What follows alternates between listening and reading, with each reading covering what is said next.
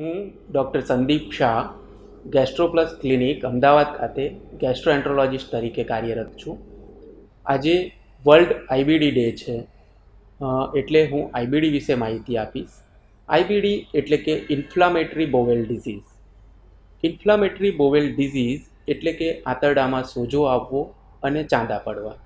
એના લક્ષણો જેવા કે વારંવાર ઝાડા થઈ જવા, ઝાડામાં લોહી પડવું, ઝાડામાં રસી આવી ચિકાશ આવવી કે પેટમાં દુખવું, એની સાથે દર્દીઓ આવતા હોય છે.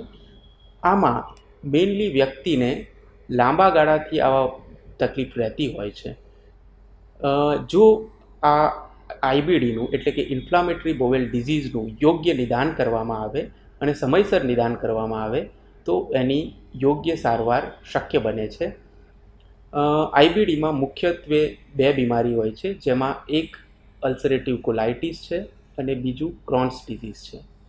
અલ્સરેટિવ કોલાઇટીસ એટલે કે એ મોટા આંતરડાને લગતી બીમારી છે, જેમાં મોટા આંતરડામાં ચાંદા પડી જવા, એમાં અલ્સર, ચાંદા એટલે અલ્સર, સોજો આવી જવો, એવું થતું હોય છે. જ્યારે ક્રોન્સ ડિઝીઝ એ મોઢા થઈ લઈને મોટા આંતરડા સુધી કોઈપણ ભાગને ઇન્વોલ્વ કરતી હોય છે અને એમાં પણ આંતરડું સંકોચાઈ જવું, ફિસ્યુલા થતું એ, એવા પ્રકારના લક્ષણો સાથે આવતા હોય છે.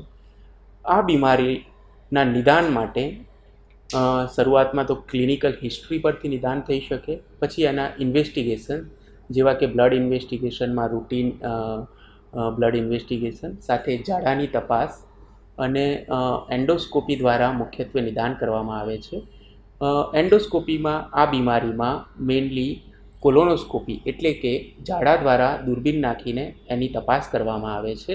અને અંદર જે અંદરની ચામડી હોય એનાથી બાયોપ્સી લઈ એનું લેબોરેટરીમાં પ્રોપર નિદાન થઈ શકે છે. એક વખત આ બીમારીનું નિદાન થાય, પછી એની સિવિયારિટી મુજબ એ બીમારીની ટ્રીટમેન્ટ હોય છે. એમાં બે પ્રકારેના એપ્રોચ હોય છે. એક એપ્રોચ કે જેમાં આપણે સૌથી બેઝિક ડ્રગ કે જેને ફાઈ અમાઇનો સેલિસિલિક એસિડ કહેવાય, એનાથી ચાલુ કરી અને ઉપર અગર જો એનાથી રિસ્પોન્સ ના આવે, તો સેકન્ડ ગ્રુપ ઓફ ડ્રગ કે જેને સ્ટીરોઇડ કે એઝાથાયોપ્રિન કહીએ, એના પર જઈ શકાય. એના પછી બાયોલોજિક્સ જેવા કે ઇન્જેક્શન જેવા કે ઇન્ફ્લિક્સીમેપ એડાલિમુમાબ અને એના પછી જરૂર પડે તો સર્જરી એવી રીતનો એક એપ્રોચ હોય છે. પરંતુ અમુક કિસ્સામાં જો બીમારી બહુ જ સિવિયર સિમ્ટમ્સ સાથે આવે. તો અમે ઇન્જેક્શન શરૂઆતમાં આપીએ, જેવા કે એડાલિમુમાબ ઇન્ફ્લિક્સીમેપ છે અને એક વખત પેશન્ટને થોડો રિસ્પોન્સ આવે, પછી ટેબ્લેટ પર મેન્ટેન કરવાનો પ્રયત્ન કરતા હોઈએ છીએ. આ બીમારીમાં મુખ્યત્વે એ કહીશ કે આ બીમારી એવી છે કે એક વખત લાગ્યા પછી એની સારવાર લાંબા ગાળાની હોય છે. અને ઘણીવાર વ્યક્તિ એવું કરે કે હવે ટ્રીટમેન્ટ થઈ ગઈ છે, સારું થઈ ગયું છે અને ટ્રીટમેન્ટ બંધ કરી દેતું હોય છે. આવામાં રોગ ફરીથી વકરવાની શક્યતા હોય છે અને જ્યારે આ રોગ ફરીથી આવે, ત્યારે જે આપણે પહેલાં બેઝિક દવાથી ટ્રીટમેન્ટ કરી હોય, એનાથી સારવાર પછી ફરીથી શક્ય બનતી હોતી નથી. એટલે આ બીમારી માટે એક મહત્ત્વનું પાસું છે કે બીમારી લાંબા ગાળાની છે. જો પ્રોપર સમયસર ટ્રીટમેન્ટ કરવામાં આવે અને લાંબા ગાળાની ટ્રીટમેન્ટ લેવામાં આવે તો બીમારીને ક્યોર કરી શકાય એવું તો નહીં કહું, પણ એને કંટ્રોલ જરૂર કરી શકાય છે.